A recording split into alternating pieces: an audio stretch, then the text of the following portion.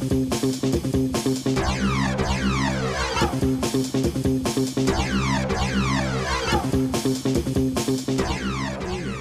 Two Face here back with another reaction video. This time I am reacting to Rise and Fall of the Majapahit Empire Golden Age of Indonesia by Kings and Generals. Now, like uh, probably most Westerners, I have no idea about the history of uh, Indonesia. So this will be another new. This will be a new one for me because I literally know next to pretty much nothing. I've only heard Majapahit um, mentioned in uh, I think it was History of the World, I guess, by Bill Wurtz, which is another great video. If you haven't seen it, go check that out. Bill Wurtz, History of the World, I guess. So this is one I've been meaning to react to for for a little while, and I I just got sidetracked, so I apologize. Even though people probably weren't expect me to react to this, so um. So the usual disclaimer when I react to anything historical, if I don't show so much what is considered a proper reaction, is probably obvious I don't know much about the subject at hand, and if I do know anything, I'll most likely pause the video to give my input or ask any curious questions, which hopefully will be answered in the comments. And I don't know why I just struggle to get comfortable then. Oh, it feels like... And, uh... Yeah, so, uh... Apart from that, the link to the original video will be in the description down below. Please go and subscribe to Kings and Generals. Another great history channel here on YouTube. And it's still one of the top history channels here on YouTube among a fair few. But that's just my opinion. So, um, right, so better not ramble on too much longer. So let's get this up on screen. Subtitles are on. Alright, let's get into this.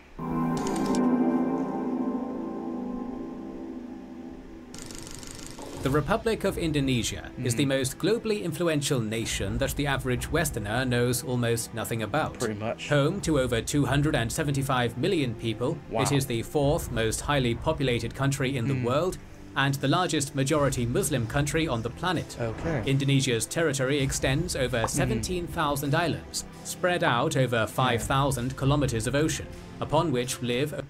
Yeah, because you um you hear about like Papua New Guinea, Brunei, Malaysia, and all the other Asian nations, but to most Westerners, pretty much know know next to nothing about the history of Indonesia, like the narrator just said at the beginning. It's one of the most influential nations that the average Westerner doesn't really know pretty much anything about.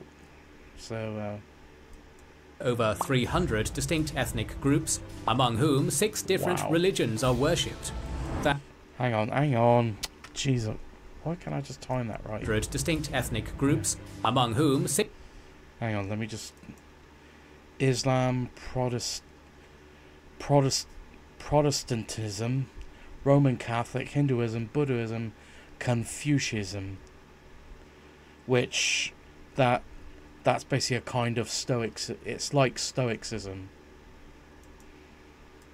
Six different know. religions are worshipped. Mm. That the modern Indonesian Republic has managed yeah. to unify such a huge and mm. diverse territory into a coherent nation state yeah. is nothing short of astounding, which makes it okay. all the more incredible that this is not the first time in history it has mm. happened.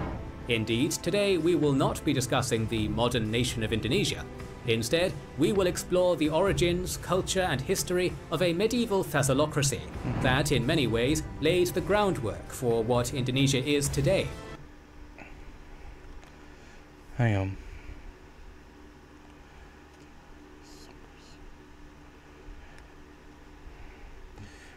Hang on, let me just give me a sec.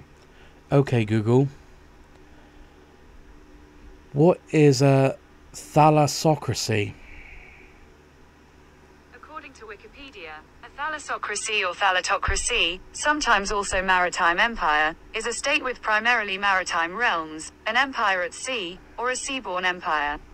Traditional thalassocracies Mm-hmm. seldom dominate interiors, even in their home territories. There you go. For those who don't know, thank you, Google. that, in many ways, laid the groundwork for what Indonesia is today. Join us as we go back to a time before the ascendancy of Islam in the Nusantara archipelago and dive into the story of the Majapahit, a Hindu-Buddhist empire that mastered the ocean. There's one thing that even becoming master of all the spices of the East won't help you with, hair Wow. loss. So let's mention something instead that does help. Our sponsor for this video, Keeps. Two in three men lose hair to male pattern baldness slash kings and generals or click Feel the link free to in the check that description. out if you're That's interested. keeps dot com slash kings and generals. While the Majapahit was the largest and wealthiest empire to arise in Indonesia's pre-modern past, the building blocks of its vibrant culture, political policies, and immense economic prosperity all have their roots in the earlier history and natural geography of the island it was born on, the island of Java. From ancient times to the present day, Java has served as the beating heart of the vast Nusantara archipelago and was the home island of most of Indonesia's most prominent historical states. Today, Java is the most highly populated island in the world, boasting a staggering population of over 150 million, which amounts to about three England's worth of people. Mm-hmm. The vast majority of Java's huge I mean, the whole. I think the whole of uh, Great Britain and Northern Ireland, the whole of the UK, is what sixty-five million. Just as even just a smidge higher. I I'll have to. Hang on. Okay, Google. What is the current population estimated for the UK? According to Office for National Statistics, population of UK at mid 2022, we estimate the UK population at mid 2022 is 67.6 million. So basically, just a smidge under 70 million. Yes, I do mean 70, For those who didn't hear that properly. population is descended from ancient sailors who, around 3,500 years ago, crested upon Java's lush shores aboard sturdy catamarans and outrigger canoes. These Sorry, voyagers were the Austronesians, the greatest seafarers ever to live. Their dispersal around the islands of Southeast Asia was just one stop in a multi-millennia ocean-bound migration that began in Taiwan around 5,000 years ago and ended on the islands of Rapa Nui and New Zealand around 800 years ago. The Austronesian seafarers who made Java the final step in their ocean odyssey would quickly master the lands and seas of their new home, and their descendants would build some of the wealthiest and most culturally sophisticated states in all of history. The reason why Java is so populous in the modern day and was so disproportionately prominent throughout history is because its climate and location make it the single most bountiful island on Earth. Over 18 active volcanoes dot Java's jungled landscape, spewing a steady stream of volcanic ash that, when settled into the soil, creates the most agriculturally productive land on the planet. On top of being an agrarian paradise, Java is the gateway to the Malacca Strait, a central nexus of a maritime Silk Road that since antiquity has connected China to the ancient civilizations of India, Persia, Arabia, and beyond. The long distance trade that flowed through this strait was facilitated by seasonal monsoon winds that made the journey both speedy and predictable for sail powered ships. The main exports that Java contributed to the maritime Silk Road were priceless spices like cloves, nutmeg, hmm. pepper, and mace, grown on the so called Spice Islands of Maluku to the east, Okay. but typically distributed by the rulers of Java. Hmm. As early as the 1st century AD, precious Indonesian spices were traveling as far afield as the Roman Empire. Hmm. Overall, with access to the world's most productive farmland and valuable spices, and situated right at the bottleneck of the world's most lucrative Okay. trade route, it is no wonder that the kingdoms of Java were able to achieve a level of power and prestige that many of their contemporaries could only dream of. Mm-hmm. As the monsoon winds blew foreign traders onto Javanese shores, so too did they blow in foreign philosophies, sciences, political principles, and religions. Hmm. While the Austronesians were originally an animist people, constant contact with the civilizations of India saw them slowly adopt Hinduism and hmm. Buddhism as their two main faiths. By the 8th century AD, Javanese rulers had begun to portray themselves as avatars of Hindu gods, like Vishnu and Shiva, and style themselves as Devaraja, an ancient Sanskrit word meaning god king.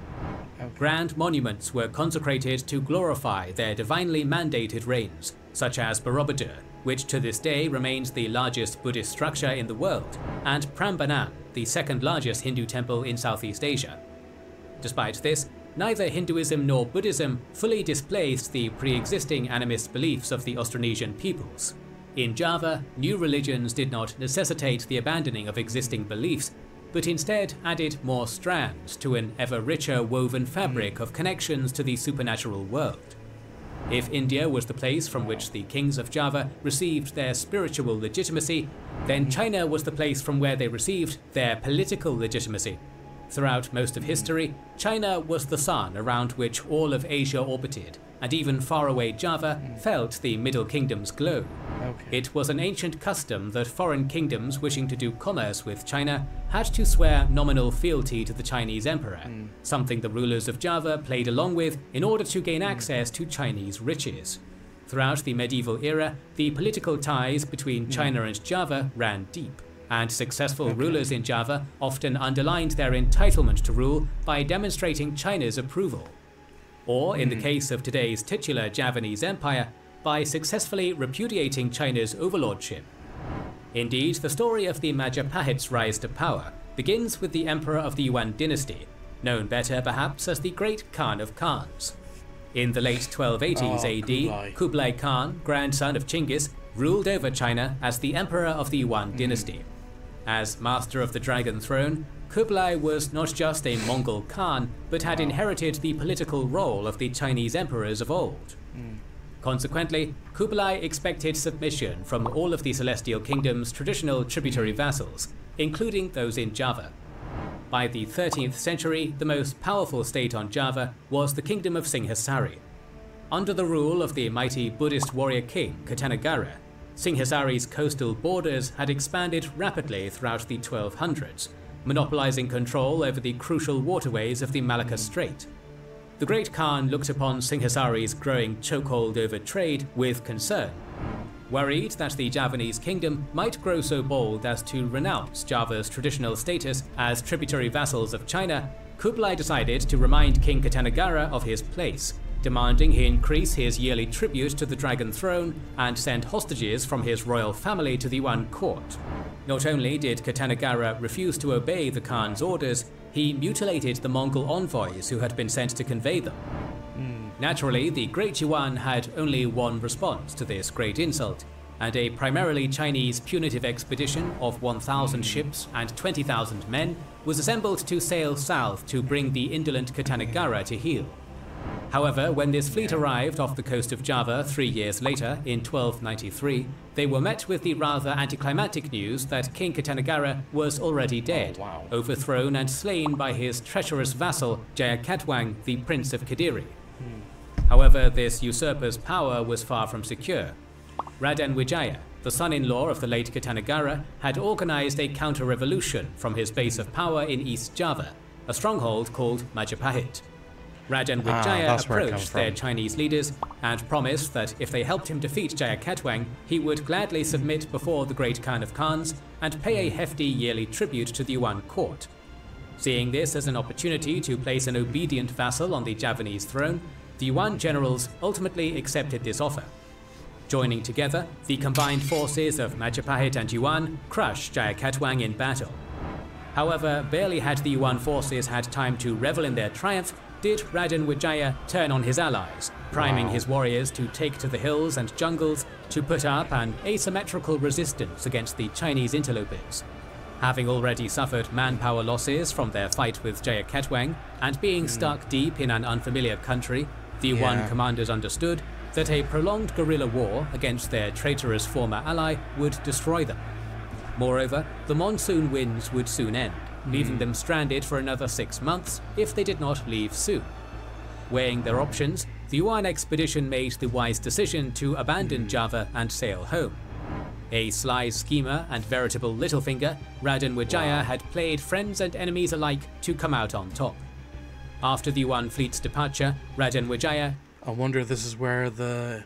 Insp- it does beg the question is this the inspiration from Littlefinger from Game of Thrones? Crowned himself the king of the newly established Majapahit state. Mm. A state that would, in the generations to come, expand further than any Javanese kingdom ever had. With that said, the Majapahit Empire got off to a precarious sophomore reign. After Raden Wijaya's death in 1309, the throne was inherited by his son Jayanagara. In traditional Javanese accounts, Jayanagara is ubiquitously maligned as a cruel and lecherous king who spent his days cuckolding his most important hmm. vassals. As such, his reign was mired with constant rebellions, and came to an ignominious end in 1328 when he was assassinated by his surgeon on the operating table. Since Jayanagara had no children upon his death, the throne passed to his sister Jayagataja. This queen proved far more capable than her brother, and managed to stabilize the Majapahit realm. She did not accomplish this alone, relying heavily on her prime minister Gajah Mada, Known as the Elephant General, Gajah Mada is perhaps the single most successful military commander in Indonesian history. What Belisarius was to the Byzantine Empire, mm-hmm. Gajah Mada was to the Majapahit realm. Ah. Upon his appointment to office in 30. Interesting comparison that Gajah Mada is just as uh, just as good as a commander as Belisarius, which, if you haven't seen my reaction to Epic History was it? Yeah, Epic History's uh, series on Belisarius. I check. Please check that out as well. 1836, Gajah Mada swore the famous Palapa Oath, in which he declared he would not taste spice until all the outer islands of the Nusantara archipelago were under Majapahit rule. Oh, wow. Gajah Mada proved true to his word, hmm. and his conquests began when he led a Majapahit fleet to seize Bali in 1343.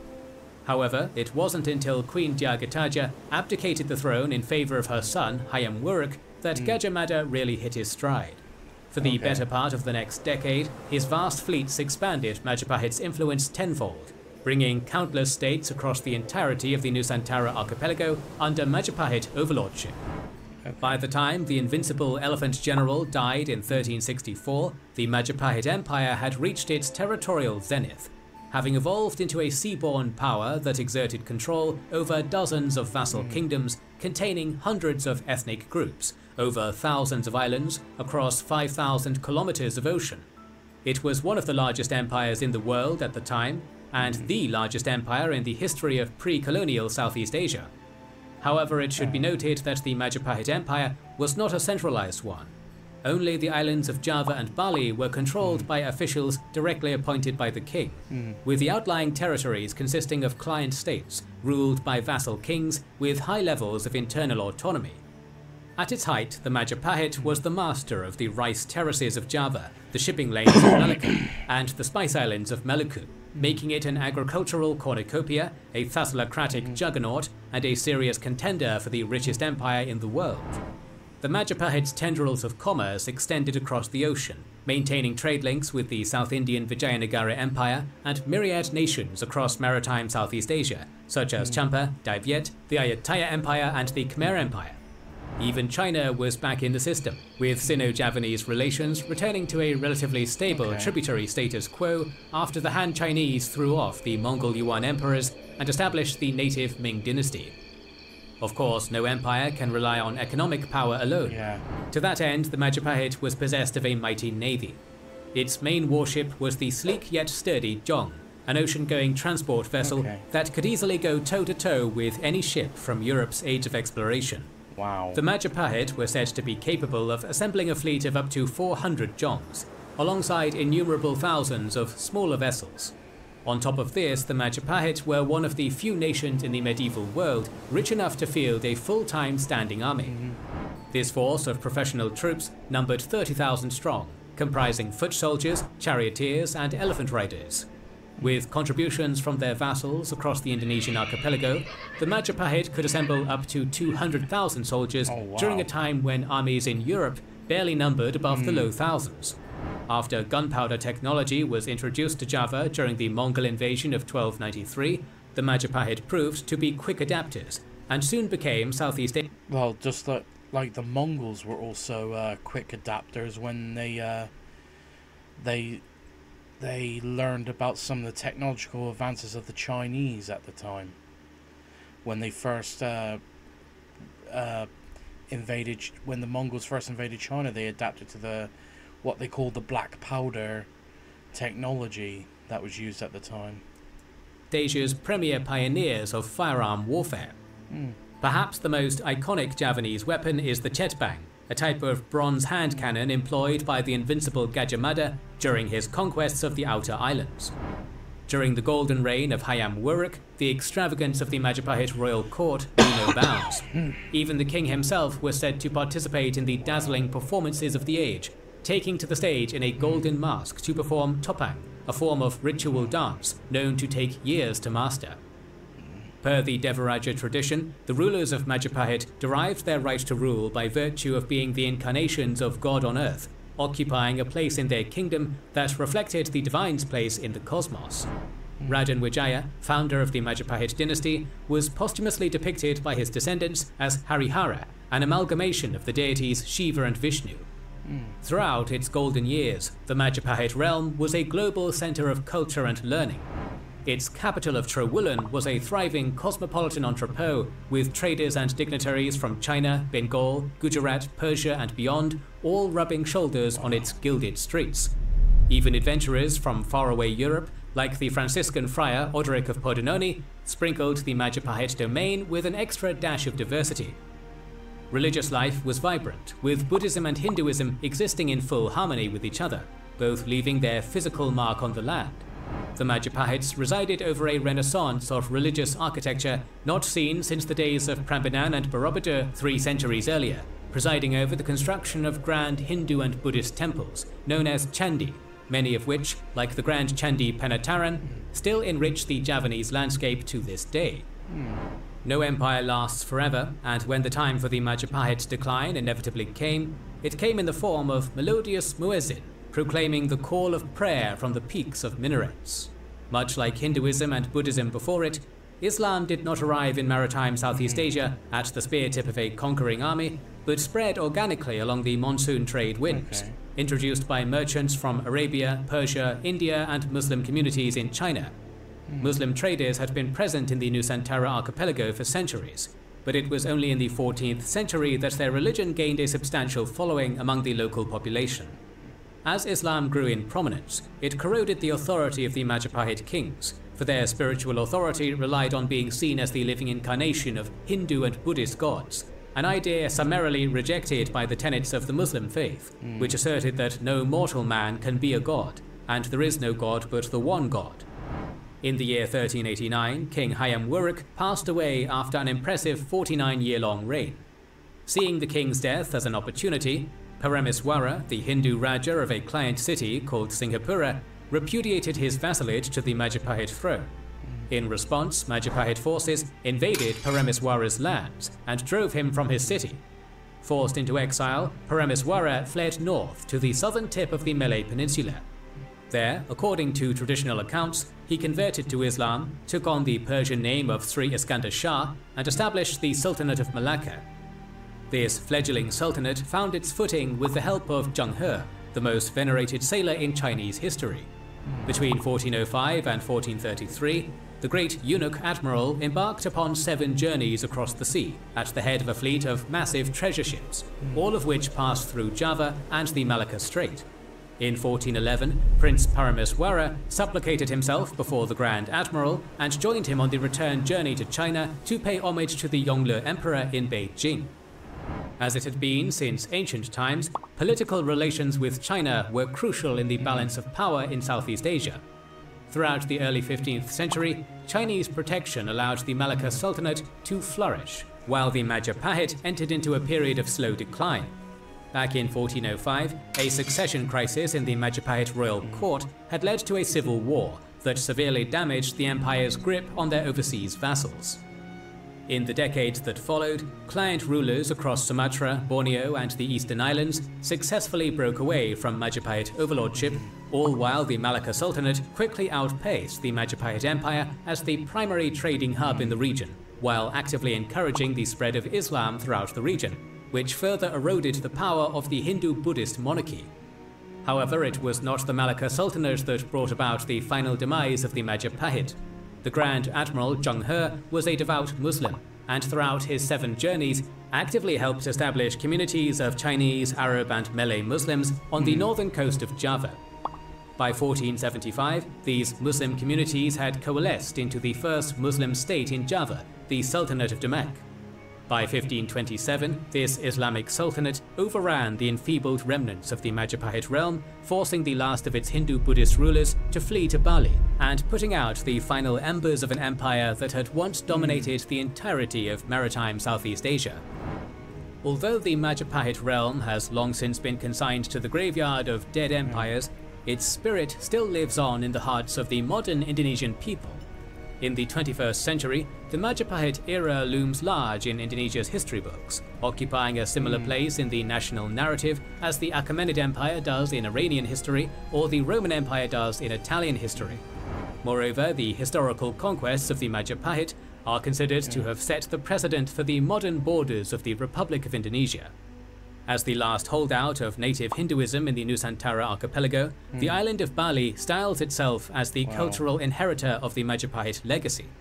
However, even in the empire's home island of Java, which today is overwhelmingly Muslim, the locals still labor to preserve the cultural legacy of their Hindu-Buddhist ancestors. Today, the national motto of the Republic of Indonesia is Bhinneka Tunggal Ika, unity in diversity. Okay. Thus, it is easy to see why the modern Indonesian people cherish their Majapahit past, seeing the religiously tolerant, culturally diverse trading empire of old as a legacy to emulate, mm. as Indonesia embraces its identity as a modern multicultural nation and its role as an economic leader on the world stage. More videos on Indonesian history are on the way. To ensure you don't miss them, make sure you are subscribed and have pressed the bell button. Please consider liking, commenting and sharing it. Whoops. Sorry. Didn't mean to press that. Stop it. Sorry. I meant to go out of full screen and, uh... Sorry about that. I was trying to get out of full screen and I accidentally clicked onto the next next video. And, uh... So that'll do it. This is, uh... This has been my first, uh, this is my, uh, at least now I got some, now I learned something about, um, about Indonesian history, so, so feel free to check out Kings and Generals channel for more about Indonesian history. So if you like my reaction to this, please like, comment and subscribe and I'll see you in the next video.